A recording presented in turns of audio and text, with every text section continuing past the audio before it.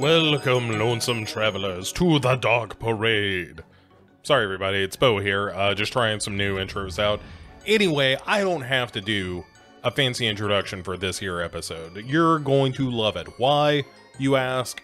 Because this here episode is one featuring uh, a dear friend of mine, an old friend of mine, and somebody that I know you love because you've probably heard her before, and if you have, then you love her because that's how this works. I'm talking, of course, of uh, Jamie J. Sammons joining me here on the Dark Parade. Uh, she's here all the time for what you're watching, but this is the first like main episode uh, of the show she's done, and we're talking about Last Night in Soho from Edgar Wright. And it's a great conversation. We have a really good time as we normally do. And, you know, dive into the period clothes and how much we love the influences of this movie and the great performances and all that stuff. But I want to warn you that because this movie is relatively new, uh, in that it came out within the past year, um, we talk openly about everything that happens in the movie, and the movie is a bit of a mystery. So if you don't want to know anything about Last Night in Soho, uh, or at least not spoiled by us, then please go watch the movie. It's available on all the streaming services and so forth, and then come back and listen to the show. But if you don't care about spoilers, uh, or you've seen the movie already, then by all means plow right ahead. So, as you are listening to this episode, ladies and germs, I will be on the high seas. So, uh, I'm asking uh, a very special favor because I'm not going to be around to promote the show because uh, I don't think I'm going to have internet being on the ship. So I'm, basically doing a little bit of uh, pirate cosplay is what's happening. I'm going to be in a place where I'm not going to be able to, uh, to to hit up Facebook and that kind of thing. So I'm asking you as a special favor from your old pal Bo, uh, who works hard, slaving away in the podcast mines, that uh, even if you've never done it before, do me a favor, share the show around because I ain't going to be around to do it. Um, so, you know, uh, let, some people know that you're listening uh, and try to put it in front of some eyeballs. That's what I try to do when uh, I'm around. But uh, as I said, I will not be on account of being on the high seas. And probably, probably by this point, I've got dysentery or at least scurvy. I can't really say for sure. But anyway, uh, I'm really looking forward to this cruise. It's going to be nice to get away, but I'm very excited also uh, to be doing the show, and I hope you enjoyed this episode. I think it's a good one. And uh, enough out of me. Let's just uh, let me shut up and get right to Jamie. So this is uh, me and Jamie J. Sammons talking about last night in Soho. Enjoy.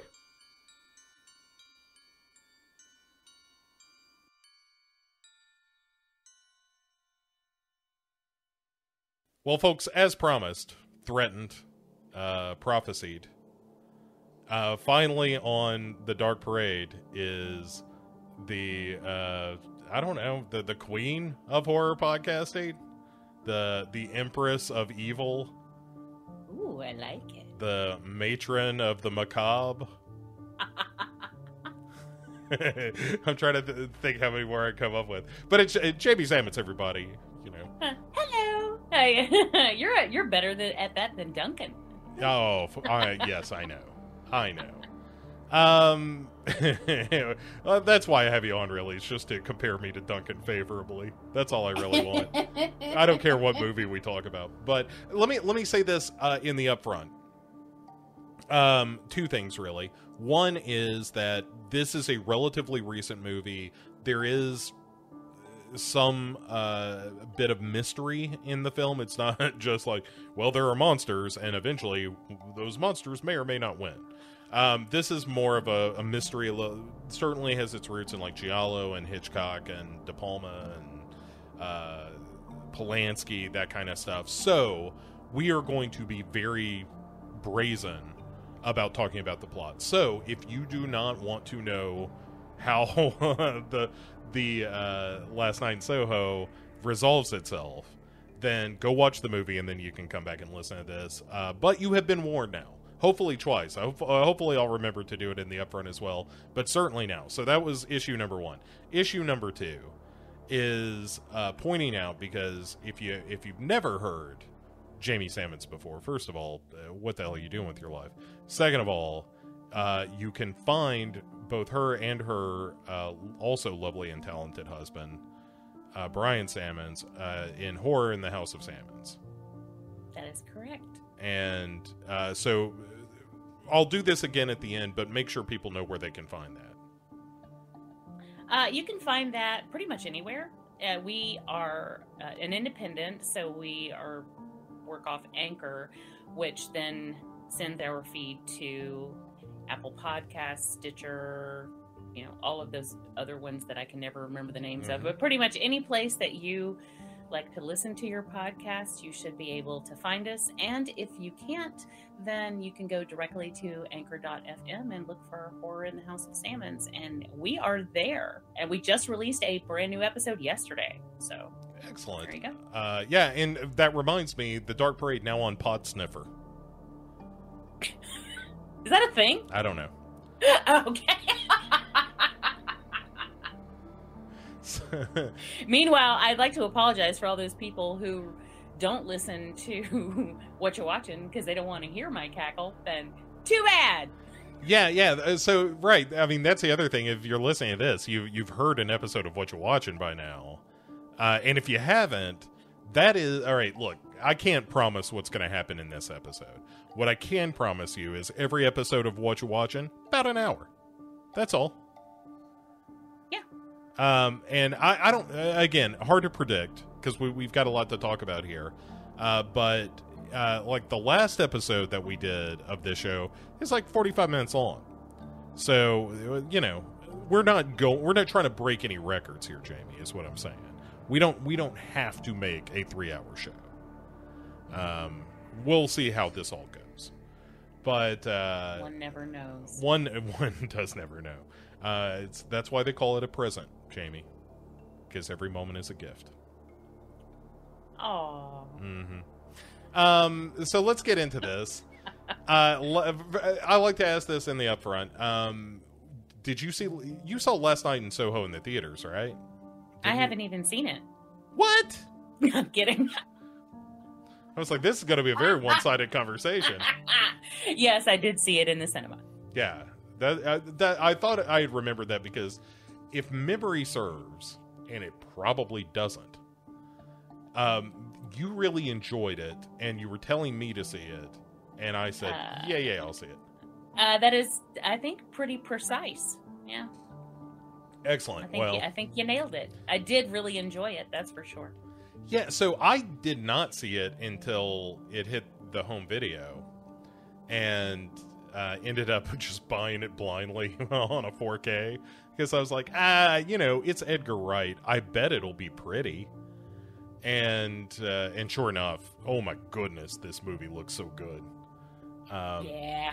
not all right uh, you know we'll get into the ins and outs of the movie here in a minute but more than um, the fact that the movie looks really good which it does i'm trying to get the guy's name did you know jamie the director of photography for last night in soho he says stretching his words so he can verify the name um it's it, it's the guy who works with uh, uh Park Chan Wook all the Oh. time. Had done like The Handmaid. I don't know if he did Thirst. We're gonna find out. Um, but uh, um, is oh my god, I hate this IMDb interface. Um, since they they updated. Yes. Okay. I agree. It's uh Chung Hoon Chung is the guy's name. And he did oh yeah, yeah, yeah. Did Handmaiden, did Old Boy, did Stoker, obviously did Last Night in in Soho. Did uh not the second one, but did the first It. Uh It chapter one.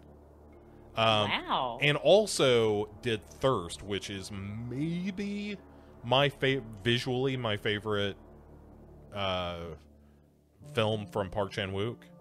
If not just my favorite, it might just be my favorite. But I, I, that movie is beautiful. Anyway, That's this- impressive. That is not. That is quite a pedigree. yeah, this guy knows how to shoot a movie. That's for damn sure. Um, and anyway, uh, I, I hope he and Edgar Wright work together again because I thought uh, that that collaboration worked out well, if you ask this guy. Um, but all right, so it it the movie starts off with an introduction um, in a very again it's Edgar Wright, so you know take a drink every time I say stylized, but it's this really stylized open where you see Thomasin McKenzie who plays Eloise or Ellie uh, in in the movie, um, kind of silhouetted in a doorway and is you know lip singing along to uh, some music that's very 60s like the, the 60s influence on this movie is inc- oh it's incredible. Yeah. It's incredible. And she it turns out that she is applying to this uh, fashion school in london not to be confused with a dance school in berlin. But uh, and the other thing we establish in in this opening scene other than she is very uh, she's obsessed with the kind of 60s couture and and music um, but also that her mother is dead. But not so you'd notice because she can see her mother in reflections in the mirror. Yes. So there's something obviously special about this girl. Um, apart from this amazing newspaper dress that she made or magazine. Yeah. I don't remember if it was newspapers or magazines but she made this entire 60s inspired dress out of paper. It's stunning. The music kicks in. It's uh, it's incredible. It just sets the vibe immediately. Mm-hmm. And uh, I happen to also be a lover of 60s, pretty much anything. And I was giddy from the moment this started. I was just like, I don't know what, because I didn't really know where we were going. I was like, I don't know where we're going, but I am so excited to get there. Yeah, right. And I think the front end of this movie in particular, like the first hour of this movie, is just about flawless for me. Um, because it moves from this, you and it, it's a pretty quick scene where you see her getting her acceptance letter. Um, you know, her grandmother is asking her like, "Hey, are you still seeing your ghostly mother and whatnot?" And she's like, "Oh no, I'm not seeing her anymore."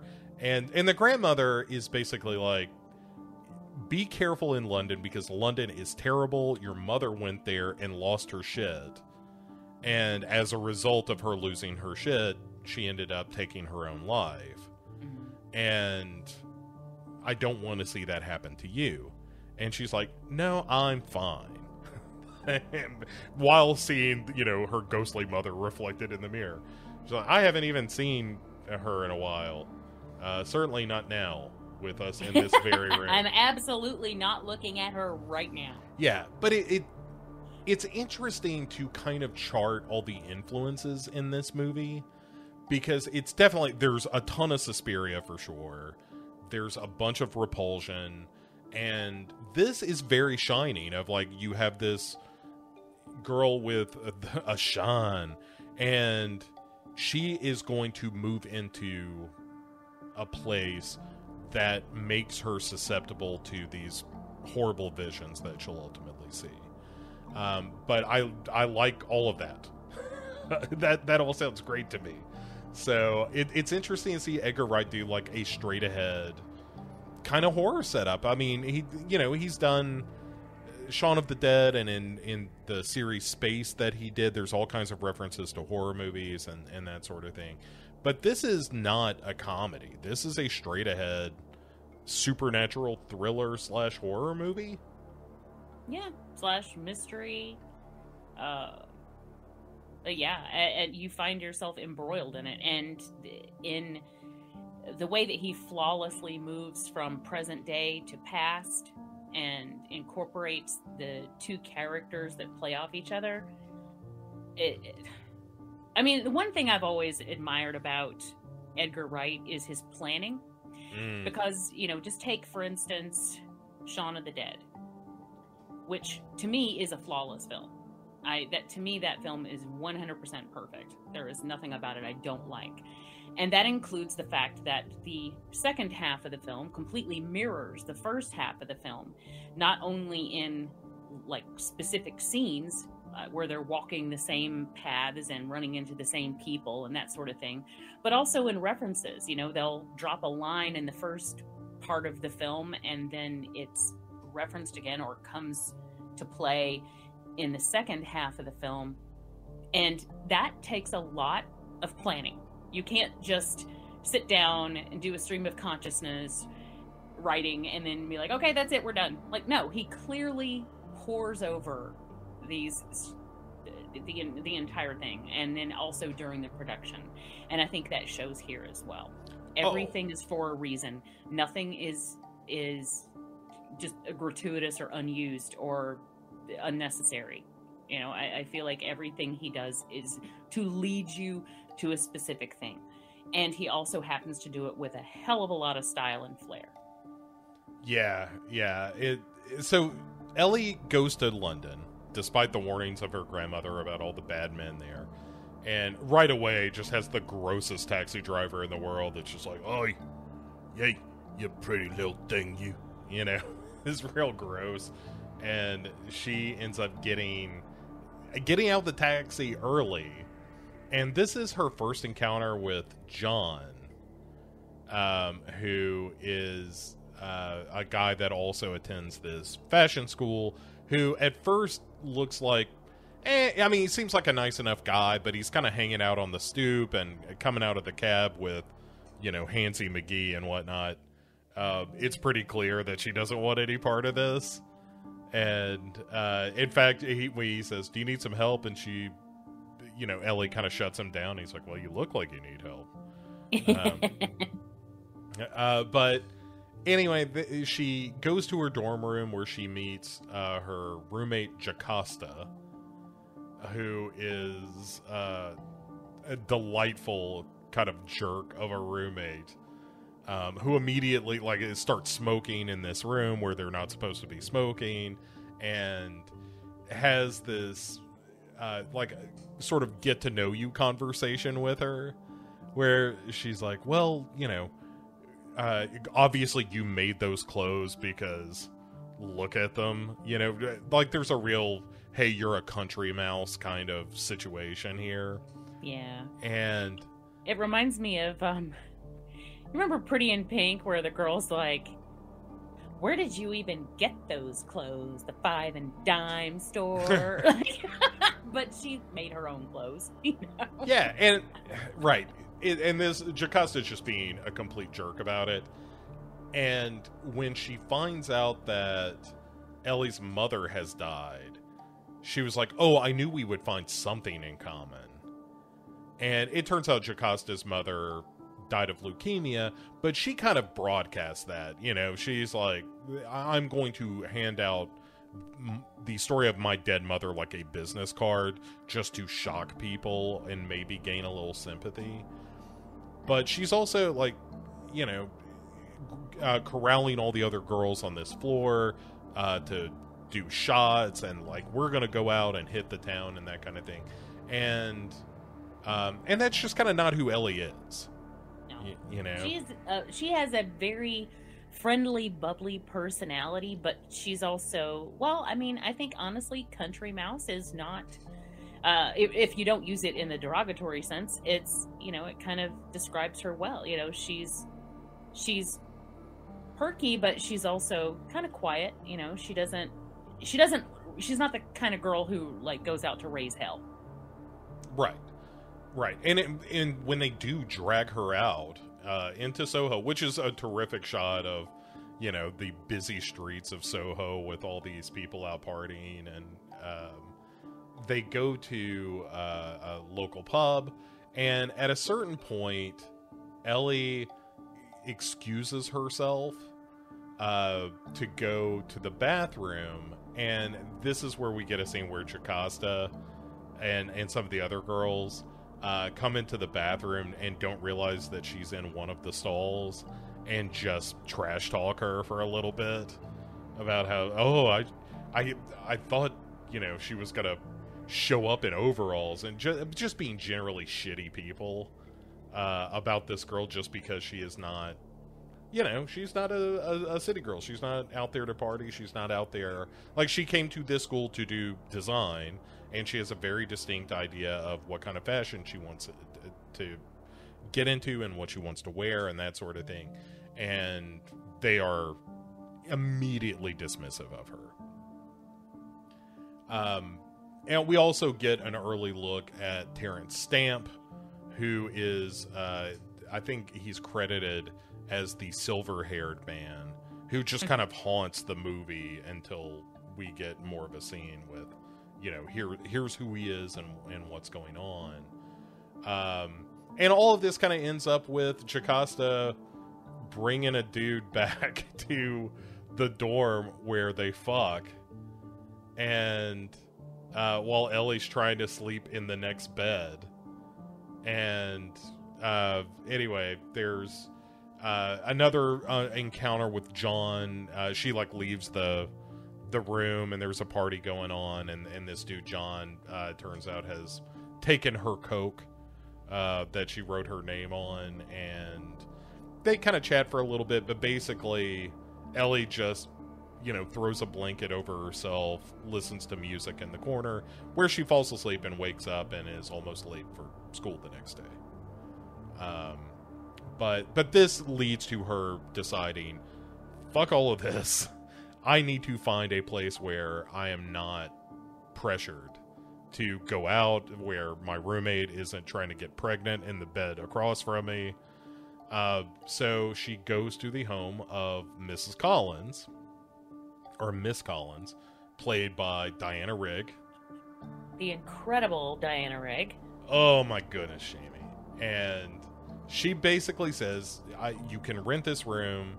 I want two months up front, uh, and and the last two months rent as well."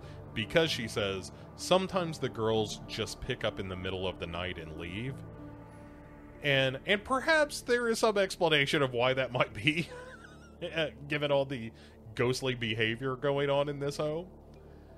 But uh, anyway, uh, she also has some rules like you can't have boys in here ever, ever, ever. Uh, some other rules, but that's really the big stuff. And takes her to this like kind of upstairs little nook of an apartment uh, or bedroom. Really, it's uh, you know shared bathroom and that kind of thing. And um, and and that's it. And so she moves in. Yeah, and it seems like it's going to be great. You know, she she loves the the little apartment. You know, it's her own, and I can imagine. You know, she's right in London. It's you know she's got her own little spot. It's a nice, quiet little place, a safe place. You think? You know, I'm, and she's on her own, so that would be a very exciting time. There is such a great shot when she first uh, goes to bed in her new room there is this incredible shot of her throwing the sheets over her head uh-huh. and then the camera pulls back from her. And you know it, it, suggests that the bed is i don't know 30 yards long.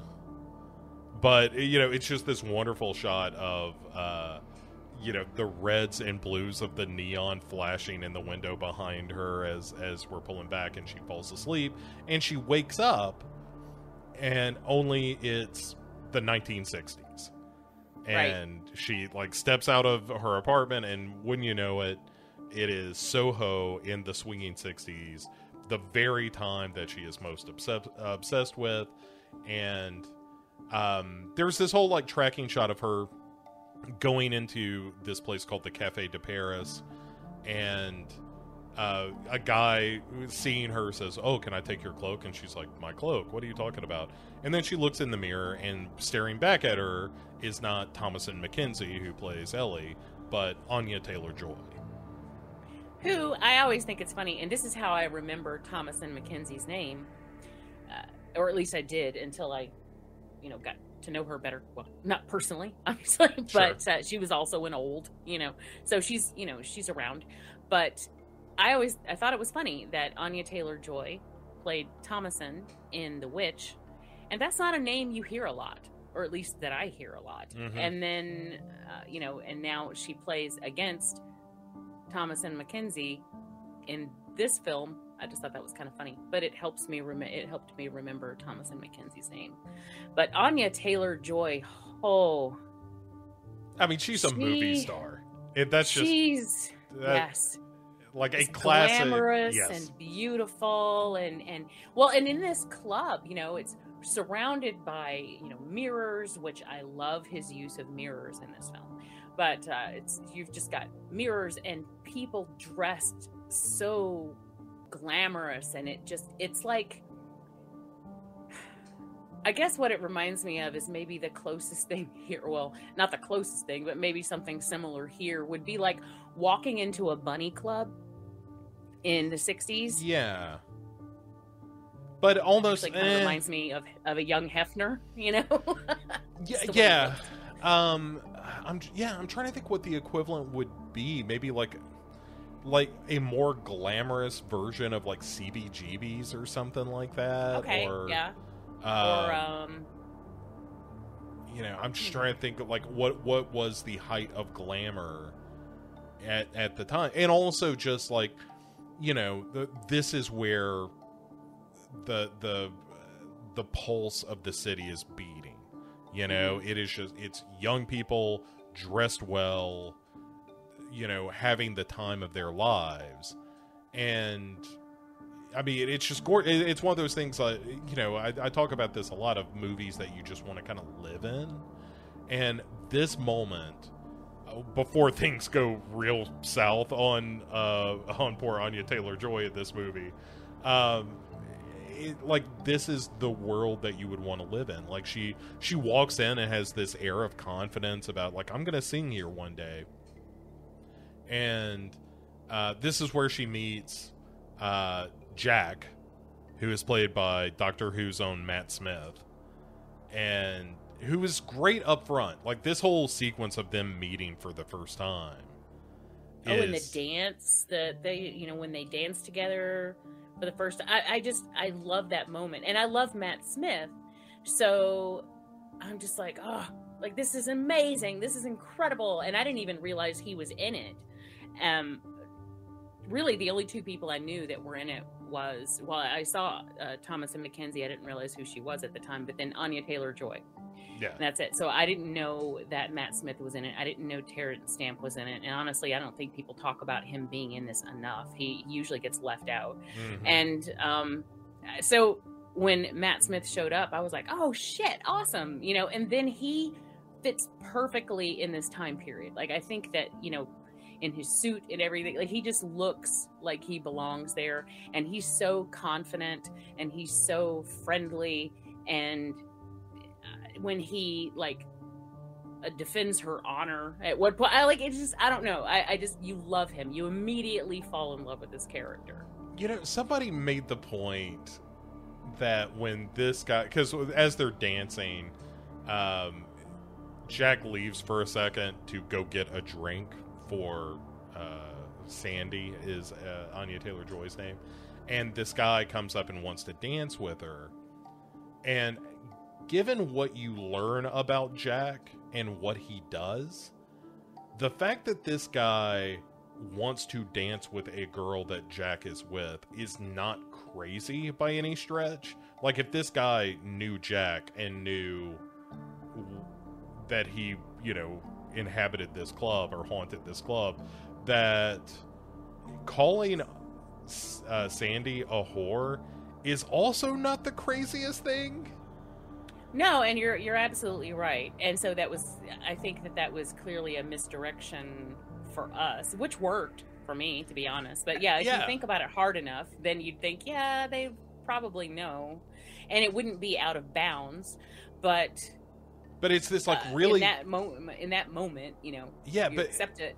there's this like great kinetic camera work where you know uh, Matt Smith punches this dude in the face for calling Sandy a whore, and he grabs her by the hand, and they run out into the streets and end up kissing in this phone booth, and it you know it, it's just this wonderful like whirlwind, exciting, romantic. Uh, Like a moment Hollywood meet cute, you know. very much so it almost it, it feels like the beginning of a musical or something Yes. Yes. and, and there is a lot of music in this film and uh, a lot of musical scenes so it that's exactly what it feels like it's like they ripped something out of singing in the rain or something you know? yeah and just at the moment where you know things are getting hot and heavy in the uh, in the in the phone booth uh, McKenzie, I, I don't know why I call her McKenzie.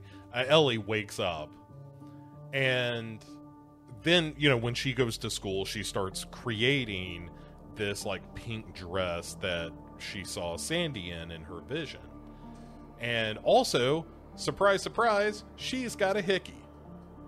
so, so you know, ghost hickeys is what we're dealing with in this movie. And, and it, but so she can't get back to sleep fast enough. You know, like she just wants to fall back into into uh, this world, and um, there, the next scene of Sandy and Jack is him showing up late to pick Sandy up, and he's got a great line where she's like, you know, you're not just like you're very late, and he's like, I've got a feeling you're gonna forgive me and he takes her to not the Cafe de Paris, but takes her to this place called the Rialto. And he says, "Look, I know it's not the Cafe de Paris, but if you want to sing, you can do that here. Like the Cafe de Paris is really for established singers and that kind of thing. You can get a break here at the Rialto." And this is where uh, Sandy gives an absolutely haunting version of the song Downtown as Matt Smith and a bunch of dudes in suits watch her perform a cappella uh, to, you know, do this uh, audition, but it's insanely good. Oh, yeah. And I love that song anyway. It's just one of those songs that you hear it and well i mean i guess it won't affect everybody that way but when i hear it it immediately transports me places. And it's just you know I, I, was singing along. I was just i was all into this. And it's a perfect song for that but also it's all about downtown which it, these are all the things that she's experiencing for the first time mm-hmm. you know and the song kind of lays out what downtown is like but in a very whimsical manner. But this version of it is so very different from the radio version or the, the, the version that the original version that everyone knows but it's beautiful. Yeah it it's an incredible scene. Like and, the, anya taylor-joy did her own singing for this movie. This is actually her singing. She's got a great voice. Mm-hmm. um, and at the end of it uh, you know some old bastard just crawls out of his chair and says all right she can sing and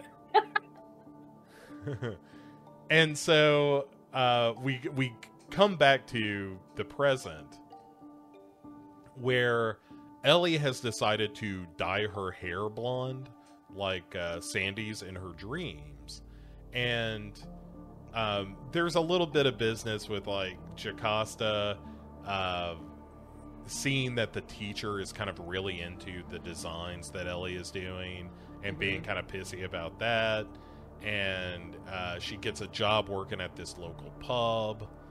Um, and they this is where you get Terence Stamp kind of following her and seeming more menacing in this moment because he's he's like, hey, are, do I know you? Like, are you who are you related to? Because you seem very familiar and um, he he says he recognizes her uh, because of her hair. And he's like, I'm not trying to pick you up, but everything that he is saying and doing certainly suggests otherwise.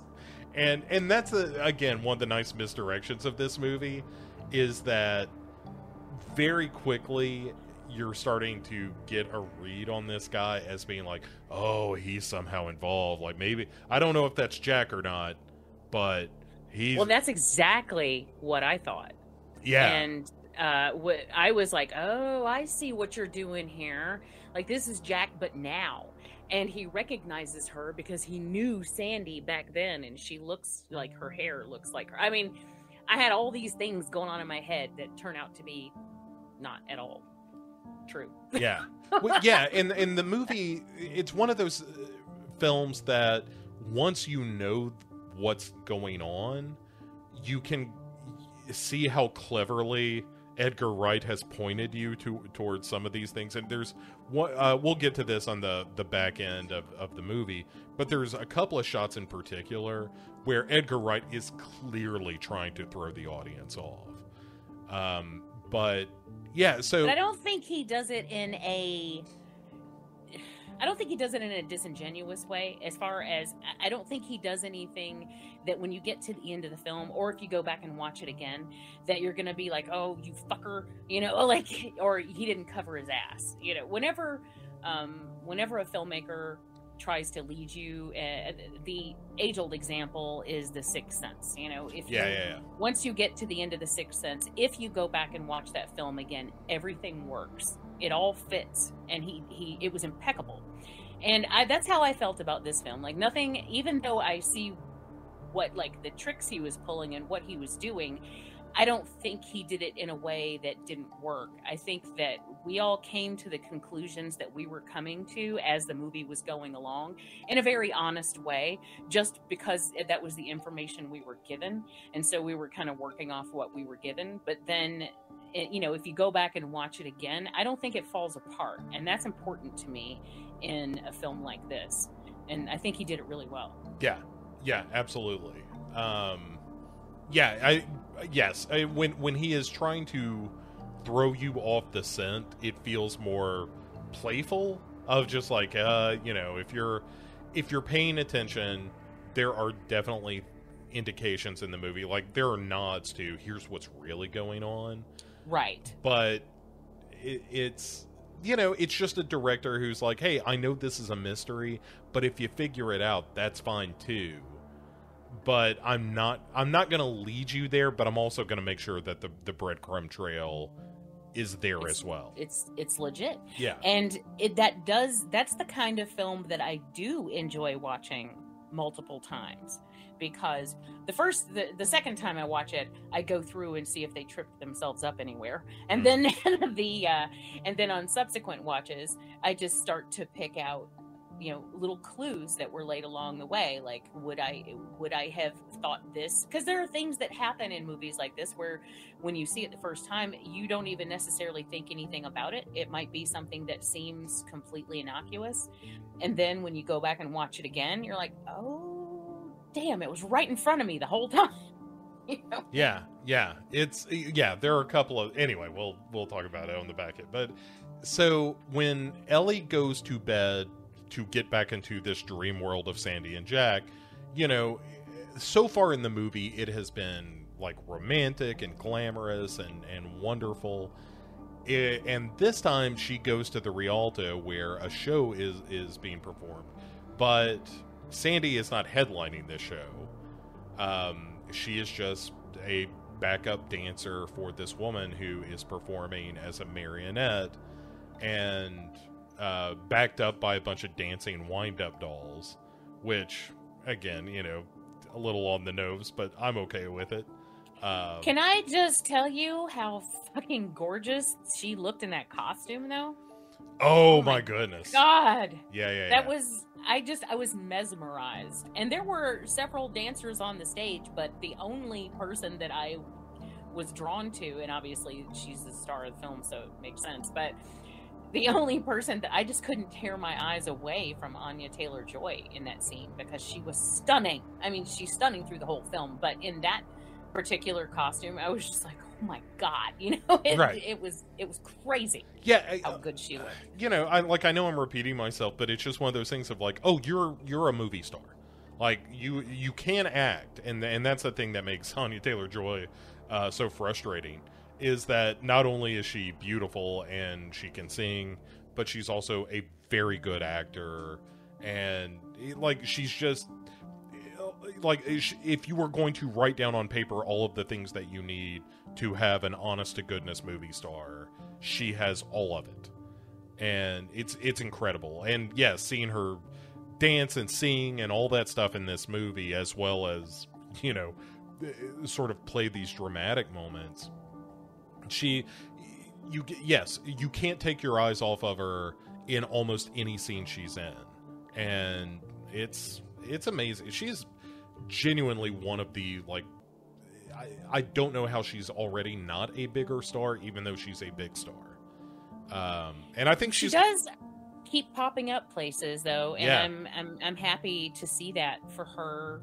She's in something I saw the other. Oh, she plays uh, in Emma. She's in Emma, yeah. and uh, I was like, ah, like she's and, I- and it, that makes me happy whenever I see someone like this.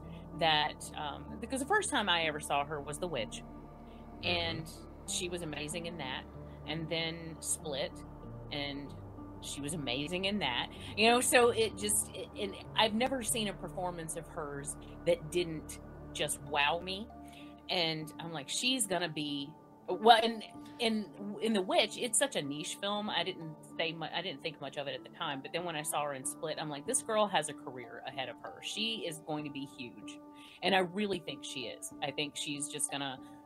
She, I, th- I think she. I mean, she's just she's gonna blow up. I know it. yeah. I I know it. I think the movie that's going to do it is Furiosa. Um. You know what? Yeah, because that's going to have a huge mainstream appeal, mhm. And it's big budget, and It, uh, yeah, it's her and Chris Hemsworth and you know George Miller directing again, coming off of Fury Road, and everyone's going to want to see it. I that's the movie I think that's just going to be, oh, you're the biggest thing in the world. Um, at any rate, yeah. So enough. To borrow a more '60s term, I guess she's she's going to be an it girl. She kind of already is. Uh, absolutely, absolutely. Yeah, there there just isn't anything she can't do, and it's it, you know it's one of those things that as I get older, I'm just disgusted by it. You're just like you're so you're so young and beautiful and talented. I hate all of it. Um, um, you got your whole life ahead of you, you disgusting young woman. Um, anyway, so when we go back to this marionette dance and it's it, you can see on Ellie's face that she's like wait a second this isn't how this was supposed to go. Like I had she's supposed to be a star. She's supposed to be singing on the stage.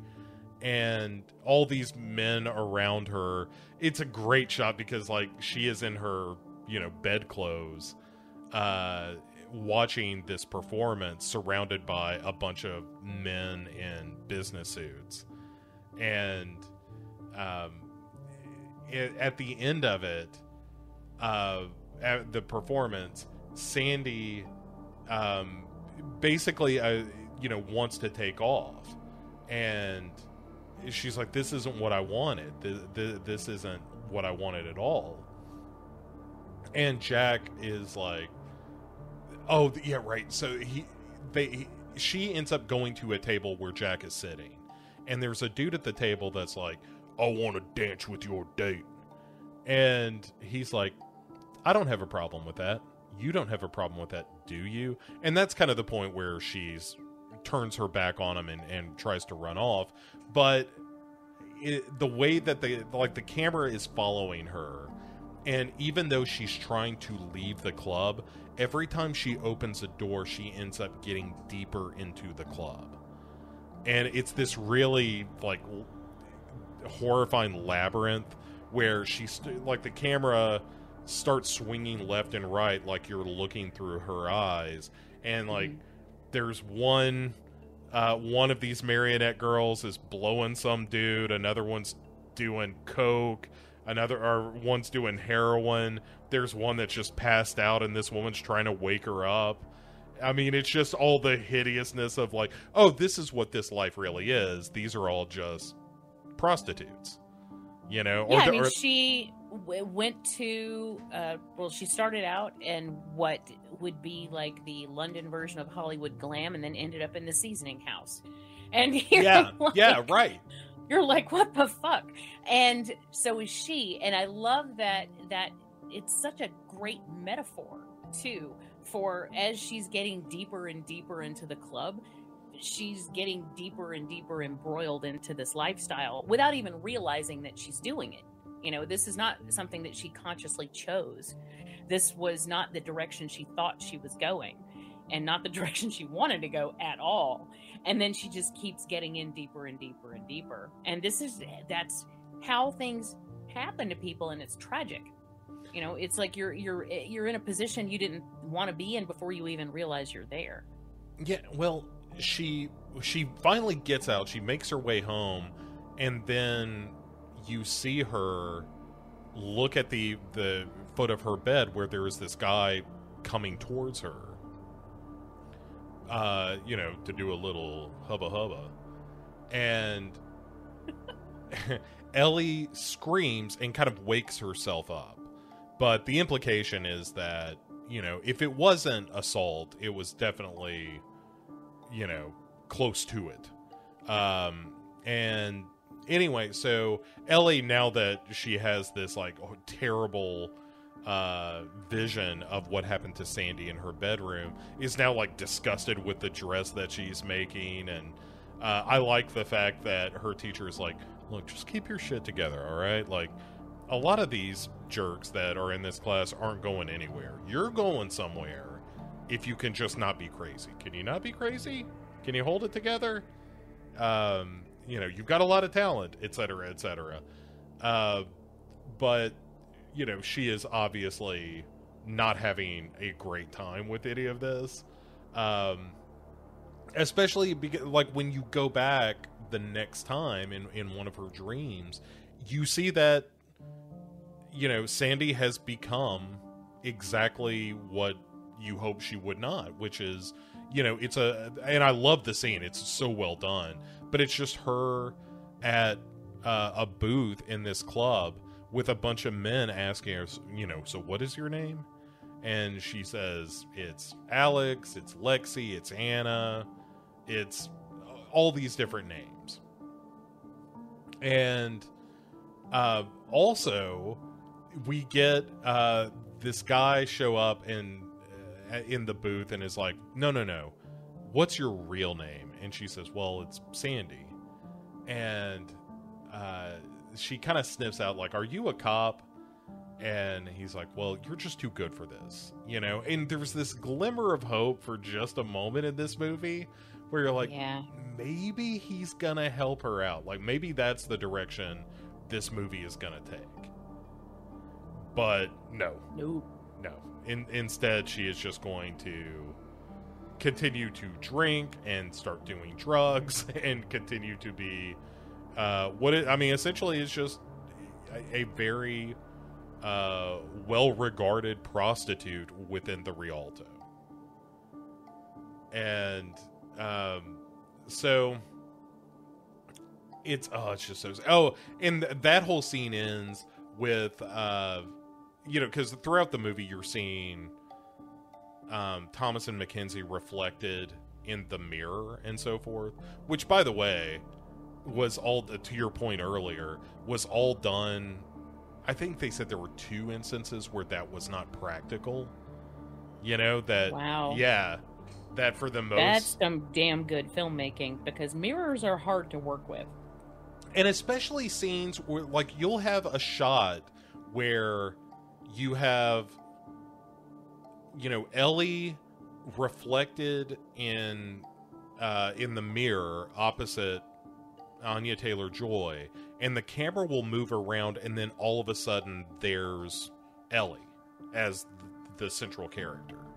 And but then anya taylor joy is now being reflected.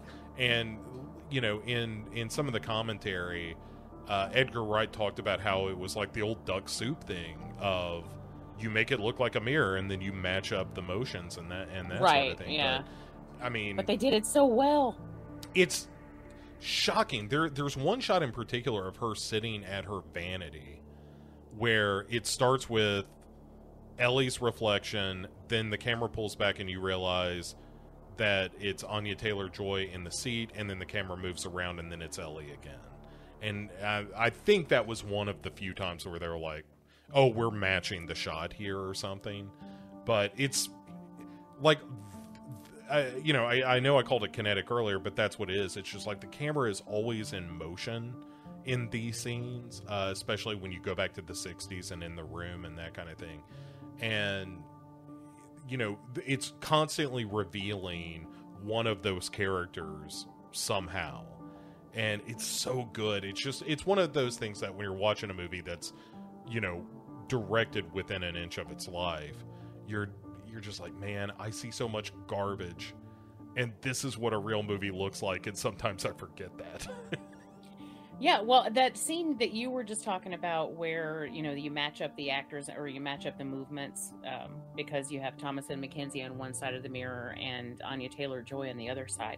I want to say, and I could be remembering this incorrectly, but I want to say that after I saw this movie, I was looking, you know, looking into it, and I think it's the Weasley twins who are playing the Yep. um the clo. Is that right? Okay. That's that. Yeah, Um, that's how they did that. Is yeah, that one of so yeah, fucking great. It's Yeah. so clever, you know. And then yeah, they got these two twins, and actually they're you know fairly well known twins because of the.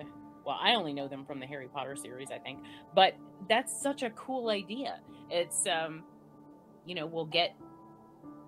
I mean, and I, I know other people have done it. It's it's an age old trick, but it just when you pull it off as flawlessly as they did, it deserves recognition. Like, no, you didn't invent that trick, but you sure as hell did it right. yeah, yeah, absolutely. It's crazy good. Um, uh, yeah, I love that whole sequence. It's it's so good. Uh, this descent of Sandy into this you know dark underbelly of London is so much fun. And um, Do you know what this movie is? what? Showgirls. There's Kinda, yeah, Yeah. yeah. it kinda is. I mean, and uh, obviously that's there's there's my my tongue is planted firmly in my cheek there because you know Showgirls is not uh, the film that this film is. But I mean, just think about the idea. You know, girl goes to Vegas. She wants to be a dancer. She's got you know, she's got all these plans. Ended up working in a strip club, but then she finally does climb her way up to where she wants to be, and where she thinks she wants to be is not at all what she thought it was going to be. hmm I don't know. I think there are a lot of similarities there. Yeah, absolutely. It's oh, it's so good. You're right. You're right. And it's like there's a weird blend of like Don't Look Now uh, is in this movie to some degree. Um, yeah, it it you know there's a laundry list like when you're listening to the director's commentary, which I recommend. It's really interesting. But there are so many moments where uh, you know, Edgar Wright will say, "Oh, this shot is something that I kind of lifted from this Louis uh, Buñuel movie. That this is the last shot of one of his last films, and that kind of thing. It's just like, oh, this guy has such a vast library of cinematic knowledge, and being able to kind of put all of that together and and have it not not just put it together, but have it like hang together really well and be really captivating and interesting and beautiful and all of that stuff. It's it's impressive. Like Edgar Wright's just a great director. I love Baby Driver. I know some people weren't big on that movie. I thought that movie was great. Unfortunately, I haven't seen it, and I I did want to see it. It I didn't actively not watch it. I just haven't gotten around to it. But I've heard nothing but good things. It's really good. You should yeah, you should check it out. Baby and I've that his use of music in that film is astounding too. Um, is what I hear. But Yeah. Oh yeah, yeah, yeah. It's if you think the the music is good in this movie, Baby Driver is oh, it's so good. Damn, that movie's fun. I need to go back and watch that. I the only reason I haven't is just because there's a central Kevin Spacey performance in that that like that movie came out just right before the Troubles came with Kevin Spacey, and I just haven't revisited because I'm like, uh, I just don't want to be thinking as I'm watching Baby Driver about how much Kevin Spacey sucks. As not as an actor, just as a person. yeah, stuff like that doesn't bother me though. Eh, then you'll know. you'll be fine. I, I I have it's just distracting. You know, it's not like I can't enjoy the movie, but every time he pops up on screen, I'm like, ugh, you're gross. Anyway, well, I mean, and that's true. That is true. But um, I don't know. Like I not too long ago watched American Beauty again. I'm like, oh my god, this movie's so good. Like, even though particularly that movie, if you watch it, then you're like, ugh. yeah, Um, but the, you know, I don't know. The, the film itself is so damn good that I just. Uh, plus, I just love him. I I, I I can't help it. He's a good actor. You know, Yeah. he's a damn good actor. So, yeah. But I can totally get why uh, people would want to avoid that. It just, I'm just, I just don't. But Yeah. It, it it's all of that stuff is super tricky. It's just like, eh, you know, every, your mileage may vary. That's just how it goes with all of that stuff. Is can can you separate art from artist and and that kind of thing. Um, we are a house full of house full. There's two of us. We are a, we are a household of Lovecraftians, Yeah. particularly Brian. And so it's kind of a it's kind of a have to kind of thing to be able to separate the art from the artist when it comes to him because yikes. Yeah. yeah, But- for sure. you know. Um, but yeah, so Ellie uh, is starting to get more and more caught up in her uh, dream world, and uh, John, her you know would be boyfriend, is like, "Hey, how about you come out to this Halloween party?" Uh, and she decides, especially after like every time she goes to sleep, like the visions just get worse and worse and worse. So she decides she's going to go with him to this Halloween party where like Jocasta and all the, the fashion uh, students are hanging out. They're dressed up like the girls from the craft, by the way, which is kind of fun.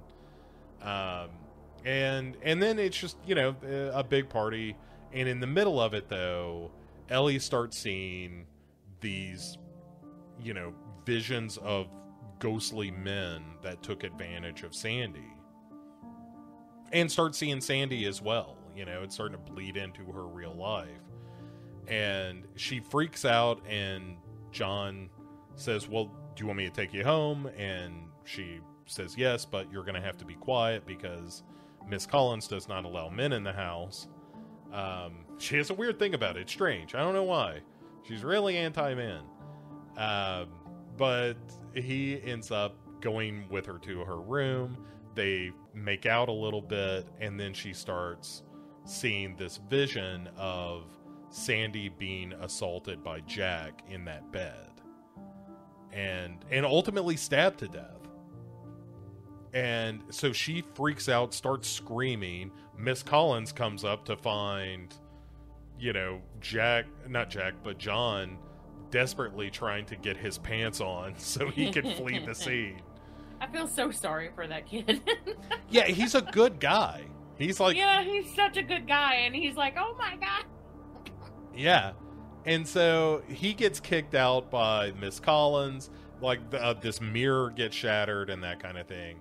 And uh, Diana Rigg uh, says, "We'll talk about this tomorrow. Just you know, clean that up, and we'll we'll discuss all of this in the morning." And and so the next day she goes and you know apologizes. Ellie goes to apologize to Diana Rigg. And while she's doing it, though, she says, "Look, I have to ask you this: Did anybody die in this room?" And Diana Rigg has this amazing line where she says, "This is London. London. Yeah, every every house, every room, someone has died in." Um, and she's like, "Oh, I guess you're right, but uh, you know, if you want to make me happy, Jamie." One of the things you can do in your movie is have a research scene where you go to try to find out the history of the house or whatever. And Yes. and so that's what happens is she goes to the library. Uh, any movie that has like a microfiche scene or a library research scene, everyone knows that is one of my favorite things in the world. I mean, I just get so excited. The, the mere just mention of of microfiche makes me excited. Um, Yeah, it's great.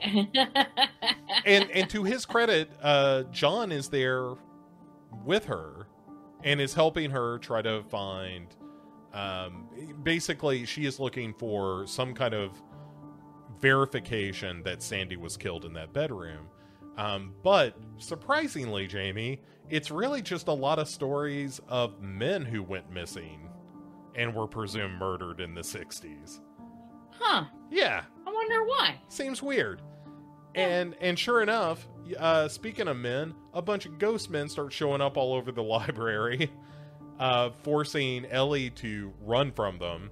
and at one point grab a, a pair of wicked looking scissors and is gonna stab one of these ghost dudes in the face, but John catches her arm just in time because she was about to stab Jocasta in the face, as it turns out. Which that'd be okay. Yeah, well, you know, it. She's not a great person. Does she distur- Does she deserve scissors to the face? Eh, I'm not sure about that. But uh, but she all right. So Ellie does the thing that makes the most sense, but also you know is not going to get her anywhere, which is going to the police. And so she goes. The thing that we're always yelling at people to do in movies just go to the police, go Right. to the police. But, you know, what are they going to do?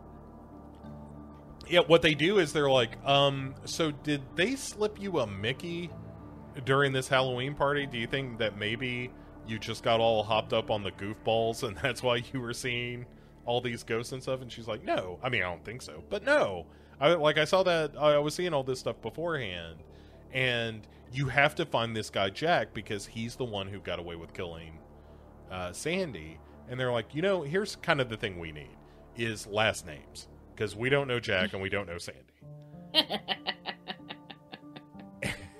and um, so she gets no help from the police, and then she decides like I've got to I've got to take care of this myself, and I'm gonna start by accusing the old man, aka Terence Stamp, who comes into the pub of of killing uh, Sandy, and and she does. She, you know, she's like trying to record uh, a secret confession, like it's an episode of The Jinx or something. And when she she brings up the girl Sandy, and he says Alex killed Sandy, and she says that whatever happened to her was something that she got herself into. And he also says he's sick and tired of this young woman accusing him of being a murderer. And he's just gonna, you know, take his patronage patronage elsewhere. And so he just tries to leave, but Ellie uh, chases him, follows after him, is like, No, I know it's you. Um but in one of the great twists of the movie, uh, he is telling her like you've got it all wrong, and then just gets hammered by a car outside this bar. hmm And that was a true, like, moment. yeah, it's shocking seeing old man Terence Stamp just knocked for a, a loop by a, a car like head on, and and it kills him. And so uh, Ellie's boss, the woman who runs the the pub, is like calling people for help, and um, Ellie's like, "That's Jack," and she says, "His name's not Jack. His name is Lindsay. He used to be a police officer." And that's Ah. right, and that's when she realizes, like, oh, that was the guy that I saw in the, you know, the In the dream. vision. yeah, Mhm. that was telling you know sandy like you don't belong here. You're better than this.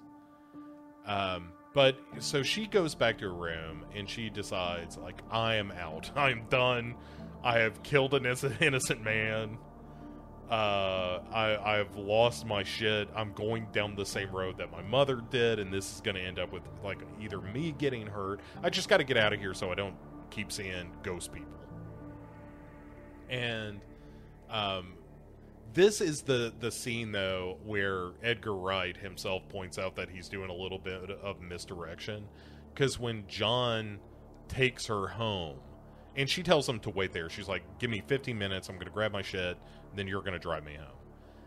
And the camera pans up to the room you know that she's been staying in like oh the, all the all the evil shit is there in the room.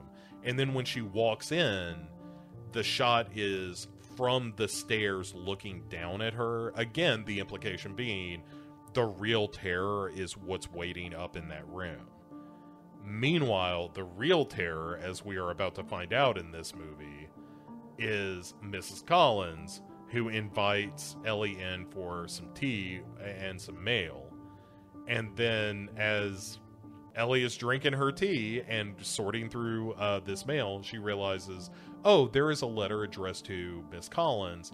Oh, her name is Alexandra Collins. Huh. That's what Mhm. Sandy told Jack her name was short for. And Diana Rigg gives this incredible monologue that's all about, like, oh, uh, you know, when you asked me if someone had died in that room, somebody actually did die in that room, and it was me. That uh, every time a man came in there and had his way with me, I died a little more. And so what I did is I decided at a certain point I was going to turn the tables, starting with Jack. And uh, she says, basically, she comes clean. Like, she has not only did she kill Jack, she has killed any number of men and buried them in the floors and walls of this house. And so, uh, she says, you know, I know you're not going to tell anybody what I've done here. And Ellie's like, no, I wouldn't. I would never do that. And she's like, no, no, no. I know you won't tell anyone what I've done here. And then you realize, like, oh shit, the the tea has been poisoned, and she's gonna make it look like because she sort of knew uh, the story of Ellie's mother, she's going to make it look like it was a suicide because of how crazy she's been acting and whatnot. And um, yeah, but then you know, John busts in and, and we're kind of off to the races for the conclusion of this movie. But man, that monologue is good. Oh shit!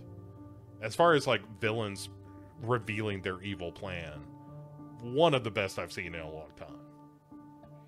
Oh, she's amazing. And uh, sadly, this was her final role. But she went out in style because she gave a hell of a performance. She's really, really, really good at this. Um, yeah, and you know she's she goes to meet John, who you know after 15 minutes has decided to come look for uh, Ellie and make sure she's okay. He ends up getting stabbed for his troubles. Um, you know, this all kind of leads up to this big chase up the stairs to the room, which is another just incredible piece of filmmaking where you're kind of going back and forth between Diana Rigg and Anya Taylor Joy, and even the stairs themselves have changed and warped, and it's insane. It's so good. Um, but yeah, so uh, they get up in, into this room, and all of the spirits of the men that Sandy killed uh, are you now realize that they were trying to get Ellie to help her or uh, help them.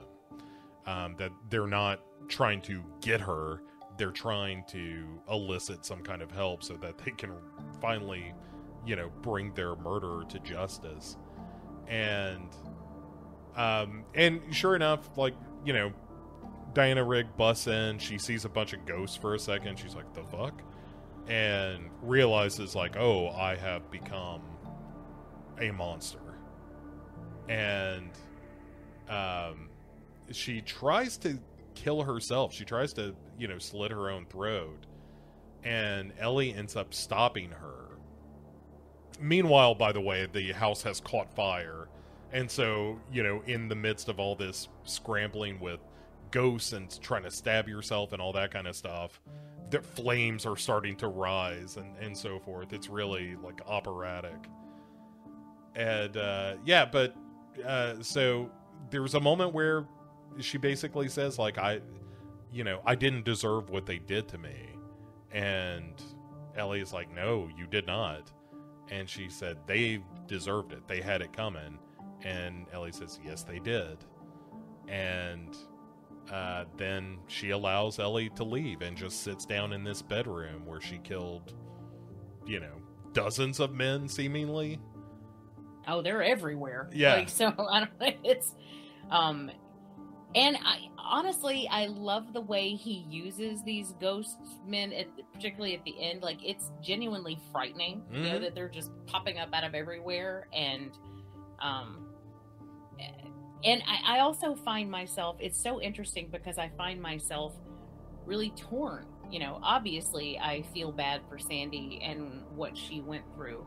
But at the same time, I'm thinking, God, you know, all of these men, like, I just can't imagine every single one of these men is uh, like a straight up asshole or tried to harm her. It's it's like how many of them were like businessmen who just are under the assumption that these women are doing what they want to do, you know, and that eh, whether that's you know just ignorance or like maybe I don't know, like maybe they're just like, oh well, if this is your line of work, then I'm paying for it, so I'm not doing anything wrong, and didn't didn't have any idea what they were stumbling into, you know. So I don't know. I, I found myself like, oh, like I like I get it, like I get what she was going through, and I get that it was, uh, I get her want for revenge, but then I'm like, you know, that guy over there, he could have been like a dentist who who just happened to be in London and, you know, thought he'd have a wild time with a lady of the night and then look what happened to him, you know. Just... Sure. Yeah, I mean, you know, it uh, like it, the thing that I like about this is it's not just one thing. You know, it is not just yeah. oh she she did what she had to do to survive that's partially true. You know, she got revenge for what had been done to her, but also, like you said, like not. It is hard to imagine that all of these men were were just completely vile that they deserve this you know exactly and yeah it's not black and white you know yeah. there there's which honestly is you know real life you know there are a lot of gray areas in real life and people justice doesn't always fall on the unjust so yeah, it's uh, you know, it's but but I like that about it. Absolutely, absolutely. It's it right. It's it's more complicated than most endings for a movie like this like just like right. a like a strict giallo or something like that like uh, there's a very you know bird with a crystal plumage kind of vibe to uh, this ending but that feels a little less emotionally complicated than what Edgar Wright is sort of getting at. But mm-hmm. um, yeah, and so the the movie ends with sort of an epilogue uh, where Ellie is uh, putting on, or you know, it's a, the student fashion show or whatever, and she turns out that this has all been really successful, and uh, she she got her designs done. Um, her grandmother and John are there to cheer her on in the audience. Um, all of the girls uh, except for Jocasta, who kind of keeps her distance and, and continues to be kind of a jerk. Um, but like everybody is congratulating her, and it, you know it looks like it's going to be. Uh, there's a big bright future stretching ahead of her, and and then we get uh, two reflections of ghosts uh, staring back at her. One, her mother, who looks on very approvingly, and then after her mother disappears, we get a look at uh, Sandy, Anya Taylor Joy, staring back at her in the mirror, and um, you know, the, the Ellie walks up to the mirror and kind of does the the tap on the mirror like we saw earlier in the film. Yeah. And and that's it. And then you're out. And end of story. Um, but all right. So first, let's talk about the cast of this thing and which we have been doing some already, but worth saying Thomasin McKenzie, terrific um, as Eloise or Ellie. Uh, she has such an innocence about her. Yeah. In this film, that you just want to hug her. You know, she's a genuinely sweet, kind, good person. You know, and it just, yeah, you know, uh, you get sucked in to her wonder when she first has her first trip, you know, oh, in at the night in the night, and then as things start to get worse and worse, you're on this ride with her, and uh, she's just incredibly sympathetic. Yeah, she she's really good in this.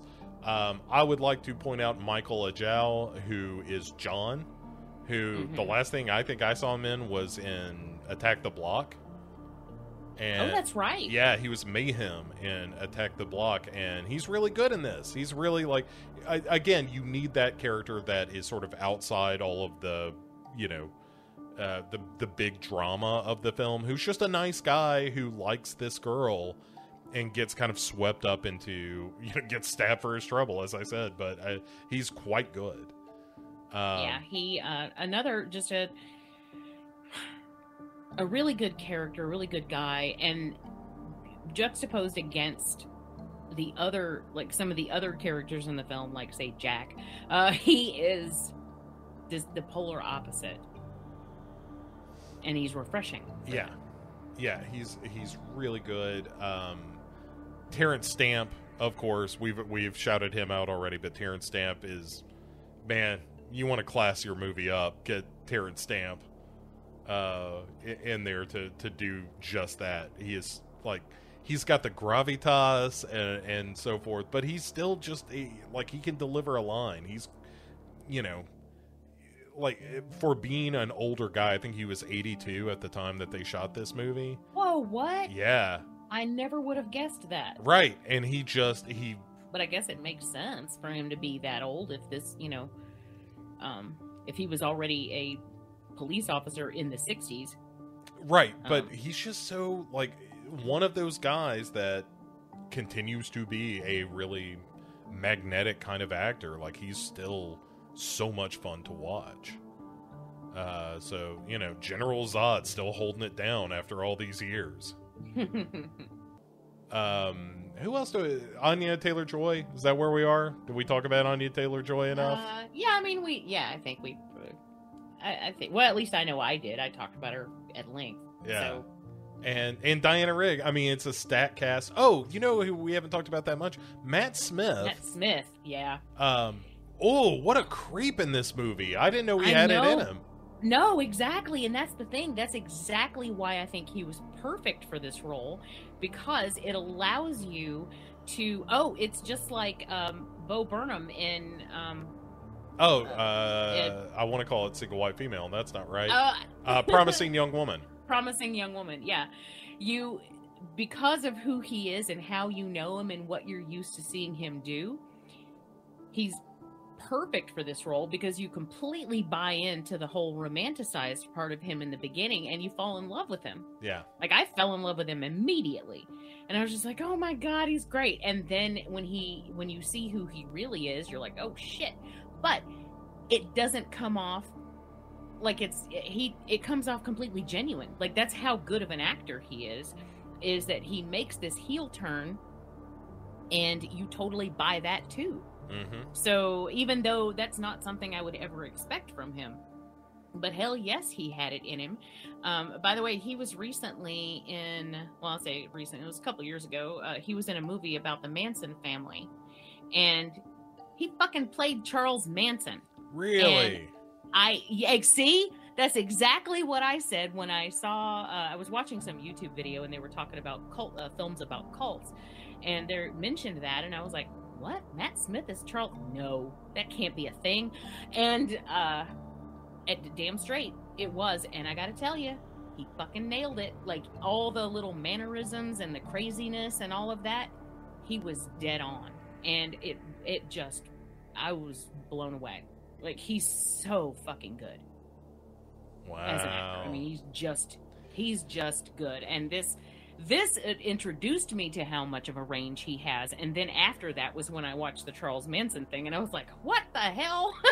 yeah, I so- need I need to check that out. That sounds pretty Yeah. good. it's on Netflix, I think. Okay. Um, All right. I'll give that a whirl. Uh, yeah, he's great. He, like, like I said, just a real surprise by that kind of range, and and he's terrific. It's just a great cast. Like everything, everywhere you turn in this movie, there's an interesting actor doing interesting things, and boy, that is that's a good time when you're watching a movie. And this movie comes in, uh, it's only what hour fifty, something like that and which these days every time you know a movie gets released it's like well it's two and a half hours you're getting your money's worth it's like how about we just make it a story and when the story's done you stop telling it Exactly. Uh, with, That's when I feel like I've gotten my money's worth. right. It, it Even if it's 75 minutes long, if I if you've told a good story, then I've gotten my money's worth. Uh, yeah. Anyway, so uh, any other in, in anybody else in the cast that you feel like we're not doing right by? Well, I mean, honestly, I think everyone was good, uh, but I think we hit all the standouts. Yeah. Um, but uh, I also, you briefly mentioned the uh, the design teacher. I really liked her. Just I thought Yeah. just thought she was a great character. But uh, you didn't see a lot of her, but what we did see of her, I liked. And yeah, I mean, everyone. It, it was just a stellar performances all around. But we definitely nailed the heavy hitters. I think. I don't think there were any that we skipped.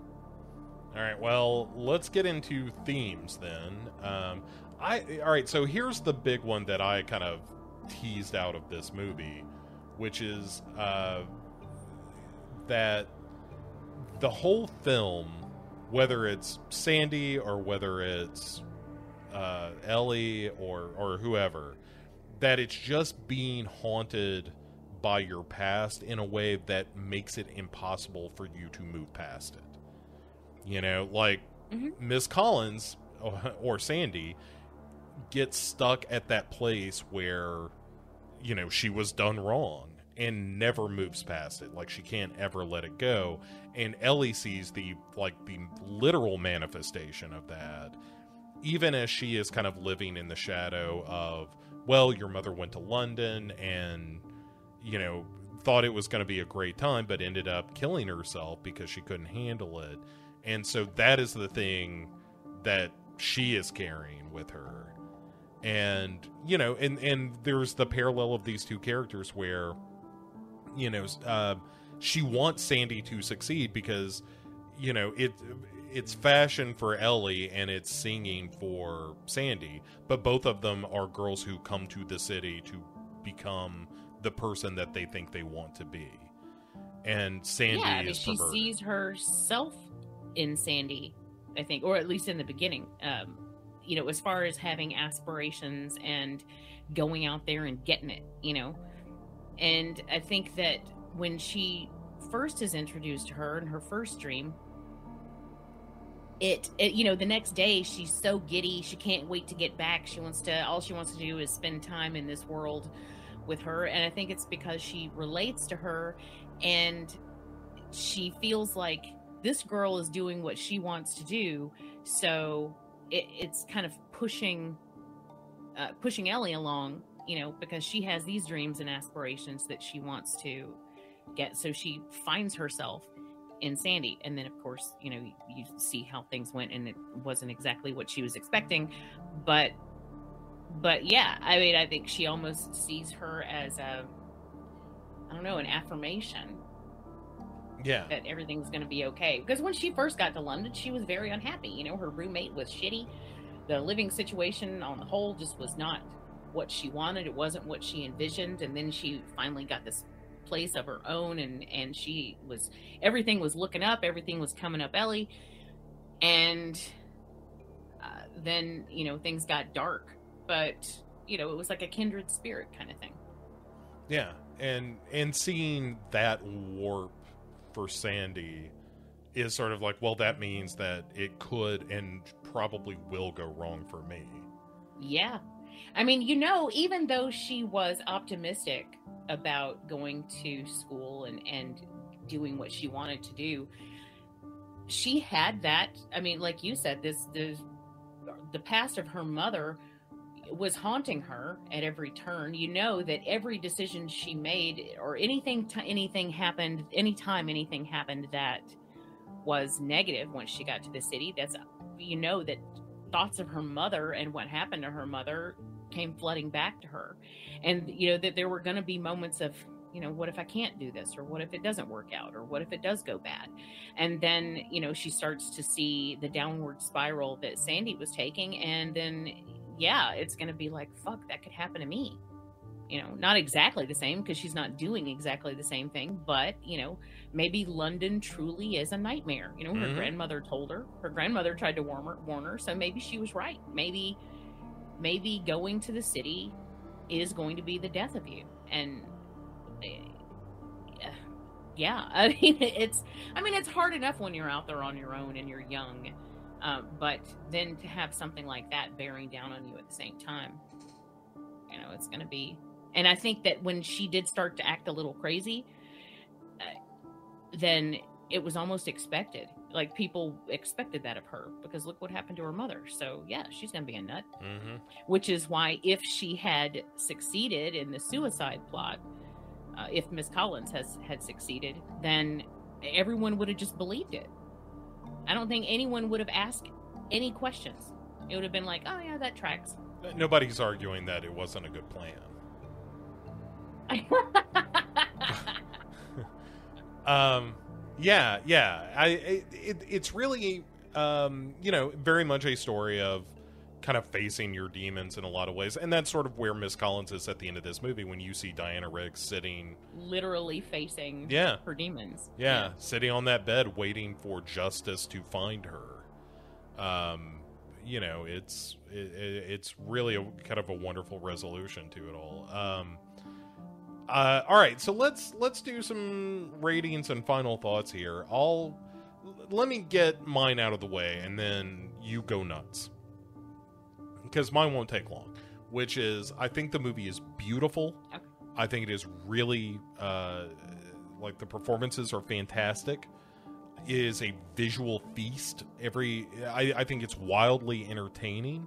My biggest complaint with the movie is I feel like from say the Halloween party to the moment that you get the Diana Rigg monologue, I feel like that is a little bit saggy. It just doesn't have quite the the momentum that the rest of the movie does, and it and it drags for me a little bit there.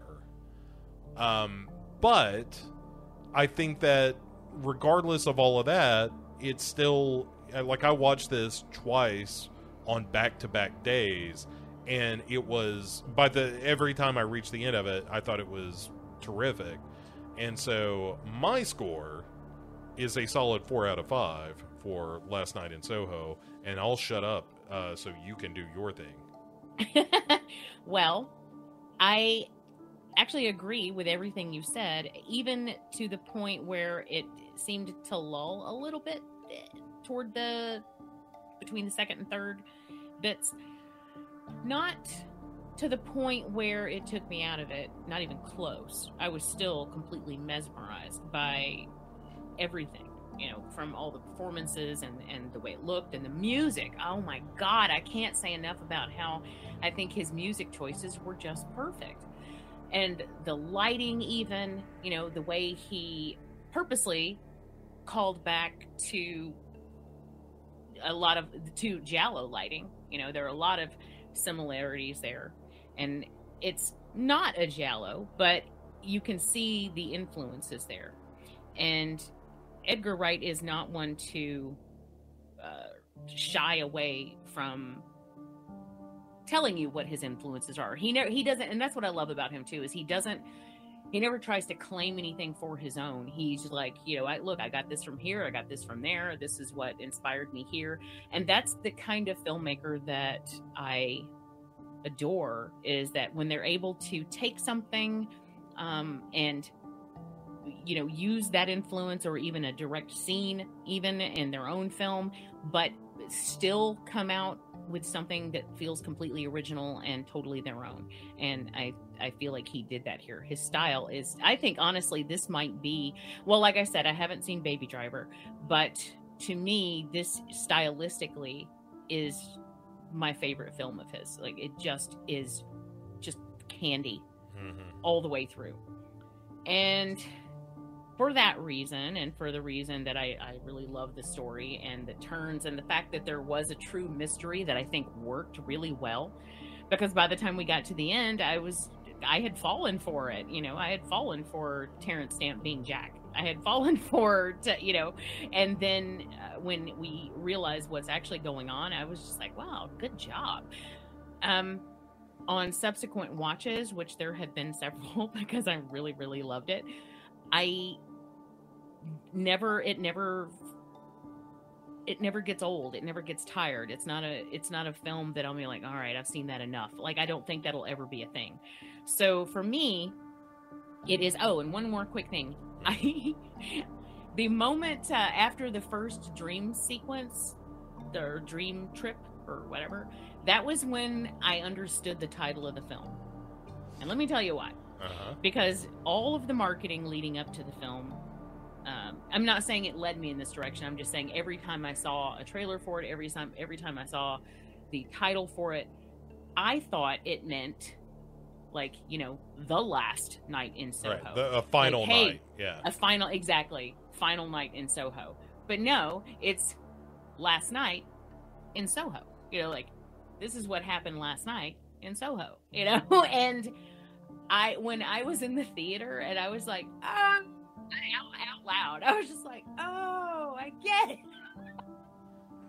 Sometimes I'm a little slow in the upchuck, but I, I like the fact that you just interrupted everyone's viewing experience. To be like, oh, yeah, hey, ever at last, it's not the last night, and so it's la- all right. I get it. Er- Everybody, go back to watching the movie.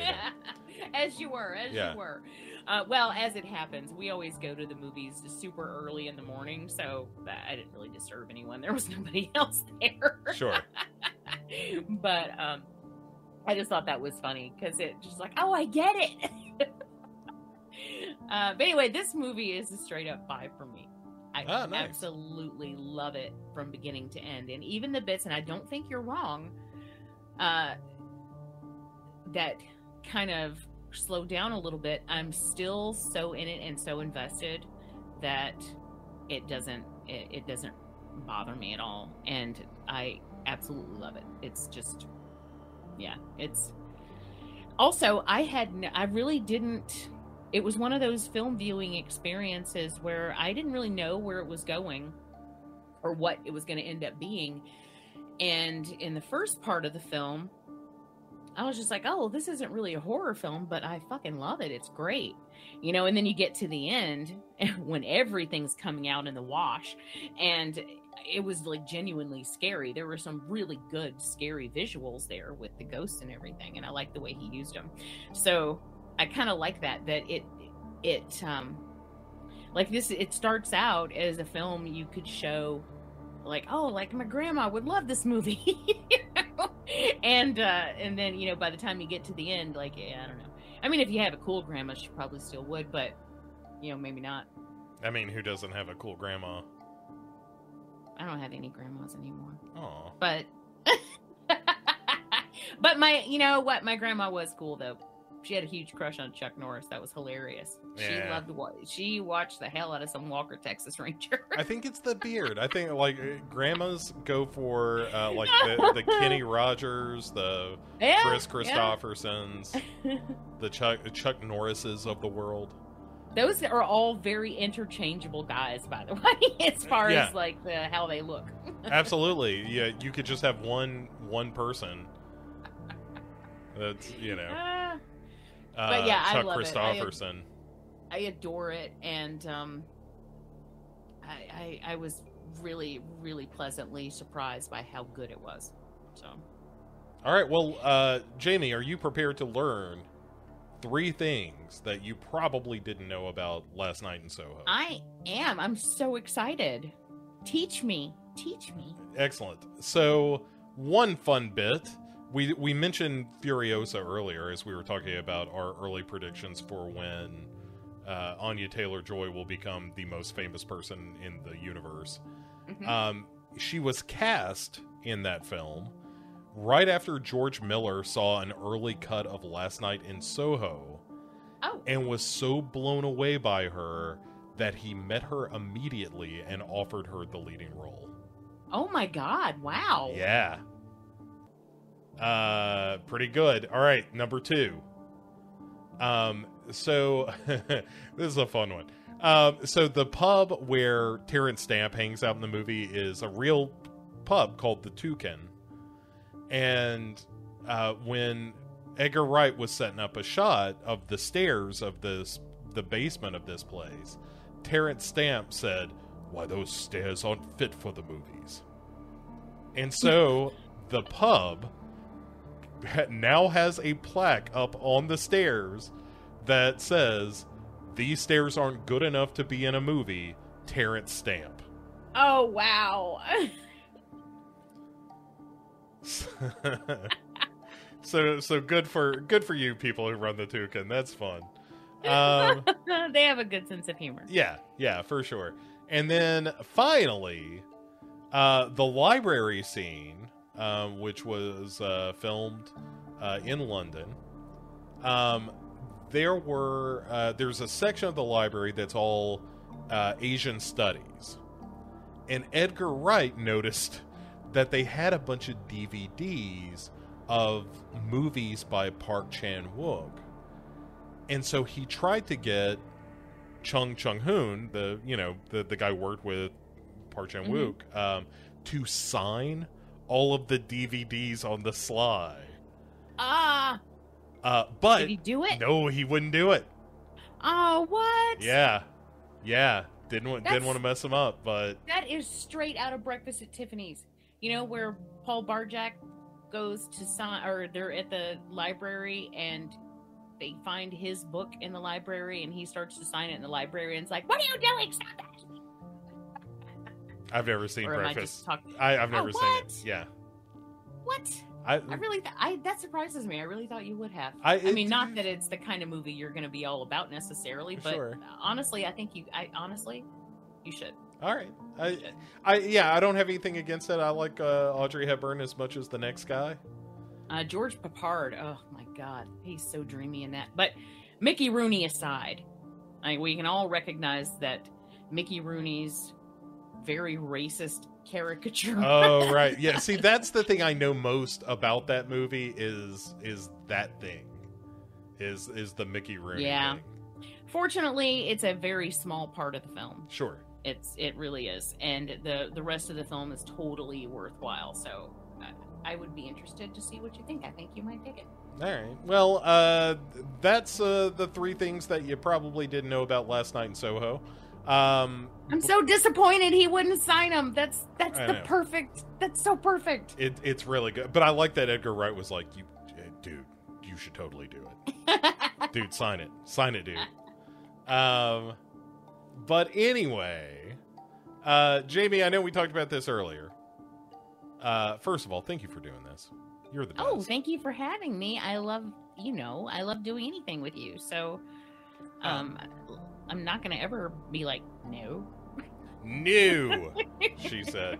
Um, well, and the money doesn't hurt, you know. No, no, no. That's always good. Uh, but where, uh, once more, where can people find more out of you? Uh, not just on what you're watching, available right here as part of the Dark Parade, but um, just you know, other places, other stuff you do, other people you talk to. That it's really these days mostly uh, Brian and me, and uh, over at Horror in the House of Sammons, like we talked about earlier. Although I did recently close up two hanging franchises that uh, for the Skeleton Crew, which it's really it's not the Skeleton Crew anymore. It's now um, uh, Bare Bones because it's a solo show that Alex from the Skeleton Crew does. But uh, we recently did Scream when it came out. Mhm. And then we did the new Texas Chainsaw film when it came out uh, with Dave because uh, we had covered those franchises previously on the Skeleton Crew. So we wanted to kind of wrap that up. I, and, yeah, I need to hear know, what you thought about the new Texas new Chainsaw. films. Yeah. and so I do things like that on occasion here and there. But most of the time, you're going to find me in two places, and that's going to be um, Horror in the House of Sammons and What You Watching. Excellent. Jamie and whoever Yay. they are. Two fine, upstanding, productive members of society. uh, who, or at least talky ones. I don't know how productive I am, but I sure do run my mouth. yeah, yeah. I'm actually, I'm very excited because uh, on the next what you watching, a little preview of that. I watched. Uh, if memory serves, I, I might have this wrong, but I think I think I'm remembering this right. But I uh, I watched uh, some Blu-rays that you got for me. Huh. That would be interesting to hear. Yeah. So that's a little tease. I think that's right. That If I'm not, to see if you watched the movie that you were gonna watch that I told you to watch. What movie was that? Ghostbusters Afterlife. Oh yeah, I did watch that. Yeah, yeah. Okay, so I'm curious to see. I can't wait to hear about that. And then, uh, yeah, I watched uh, the Studio 666. We saw that at the theater last, so I'll be talking about that and the new Oh. Texas Chainsaw film. And uh, I don't know, Oh, whatever that's else happens between then and there. This is a good tease. All right. Well, uh, come back for that episode of What You're Watching. Um, and uh, I'll be back in a second to uh, close out the show. Jamie, thank you again. Thank you. Always a pleasure. And there you have it, folks. That is last night in Soho. Uh, I like I said, I had a great time uh, talking to Jamie about this movie. Um, it's always a pleasure to talk to Jamie. Like we're you'll also be getting a what you watching this week. Um, so you're you're getting a, a double helping, a, a one-two punch of me and Jamie just kind of jabber on about stuff, and uh, and it's always a pleasure when we do. Uh, if not for you, certainly for me, because uh, as I said in the upfront, she's an old dear friend, and we have a good time. We have a, a, a really wonderful uh, uh, time talking about movies and life and everything in between. So um, I appreciate you listening. As I said, uh, also to reiterate from the upfront, you would be doing me a big favor because, uh, as you may recall, I'm going to be on a boat uh, when this episode drops. Uh, if you don't mind doing me a solid and take a little extra time maybe today and, you know, rate the show on the podcast catcher of your choice, uh, especially iTunes, that helps a lot. Or uh, go over to the YouTube channel, youtube.com forward slash Legion Podcasts, and you can just give a thumbs up on the video version of this. Or uh, if you really want to help, um, throw it in your social media feed, drop a link uh, to the show uh, there, and uh, and help share it around. So it is much appreciated. I would be doing that kind of thing myself if I were able, but I will be um, sailing the seas of cheese, or perhaps just water. Uh, I might be a little overly influenced by Primus. It's really hard to say. So we've got more coming up. Uh, the next episode we are going to be doing is also going to be a good one. It's uh, Derek Bourgeois returning to the show to talk a little over Your Dead Body by Takashi Miike. And I think you're going to enjoy that episode as well. Uh, it is an interesting movie, and we are going to get into some uh, Japanese folklore and that kind of thing. Another uh, sort of Hero Hero Go Show crossover episode. So, um, anyway, thanks so much for listening. Uh, thanks for being part of this community. I hope you're enjoying what we're doing here, and I look forward to talking to you all once I am back from my uh, pirate sea faring adventure. Uh, in the meantime, I will see you next time, and thanks as always for joining the Dark Parade.